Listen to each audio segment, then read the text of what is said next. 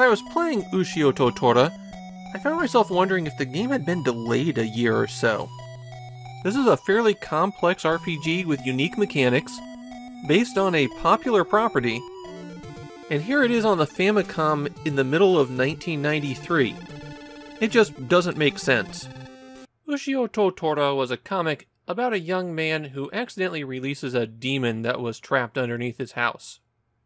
The boy Ushio keeps the spear that had pinned the monster, and its supernatural power prevents the demon Tora from eating him.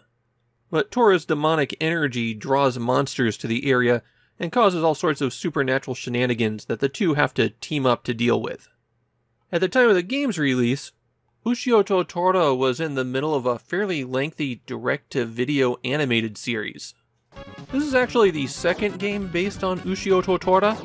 The first one was an action game on the Super Famicom, which has gained a bit of attention outside of Japan for being one of the better games on the system that didn't get released outside of the country.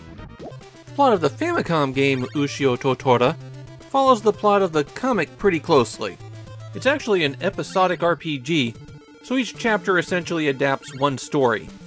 In the first chapter, Ushio frees Tora and then has to defeat an evil statue that was brought to his school.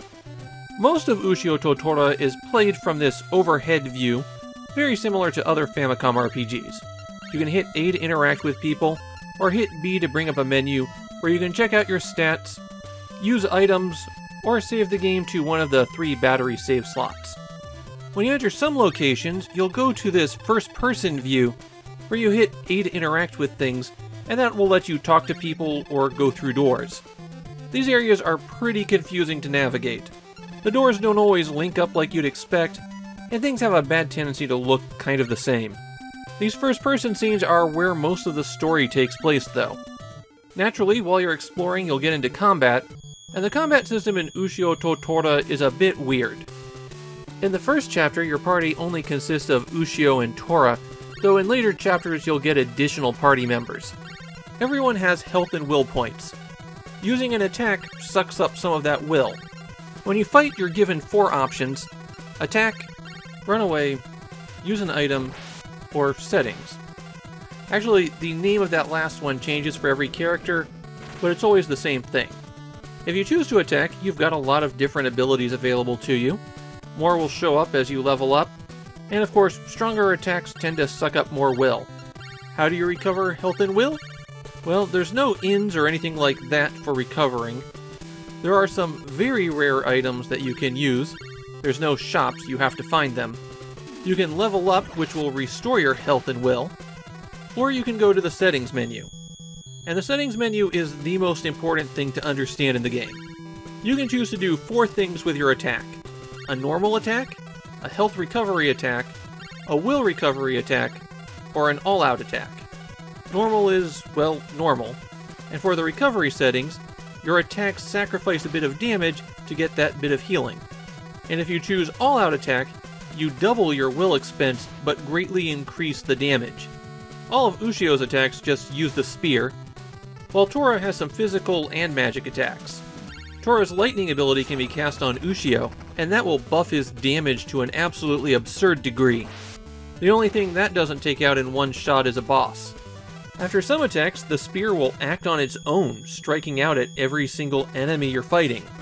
You don't have any control over when it does that, though. It, it just happens. The dungeon design in Ushio to Tora is a bit weird.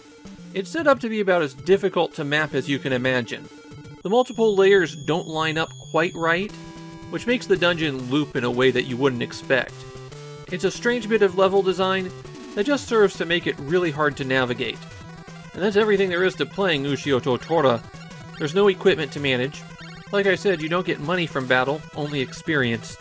So there's nothing to do except fight, explore the dungeons, and progress the story. Since your attack and defense is dependent on your level, it is worthwhile to grind, but I really didn't need to do so when I was playing. I did it by accident because I wanted to explore the town while I was constantly being attacked, and it turned out there was nothing there, but I zipped through that first chapter pretty quickly. Ushio to Tora doesn't seem to have a lot of fans in Japan. It was hard to find anyone who had something to say about it. It feels like the most anyone could say was, that sure is a game. I found Ushio to Tora to be interesting, but kinda shallow. Having to rotate the focus of your attacks in order to maintain your energy levels is an interesting concept that I think doesn't really work well in practice. You get low in one area, so you switch over to recovering that, and then sit on that until you're done. Because it's effectively the only way for you to recover your health and spirit, it encourages you to not attempt any big moves. You're going to find yourself slowly whittling down enemies rather than using a full attack. And while you might have multiple attacks, I couldn't really tell the difference between them. It's not like enemies had a weakness that you had to exploit. The presentation looks good at first, and then you have to watch the same slow animations every time. I want to like Ushio to Tora better than I do. I like games that try to get creative. But this one winds up feeling kinda meh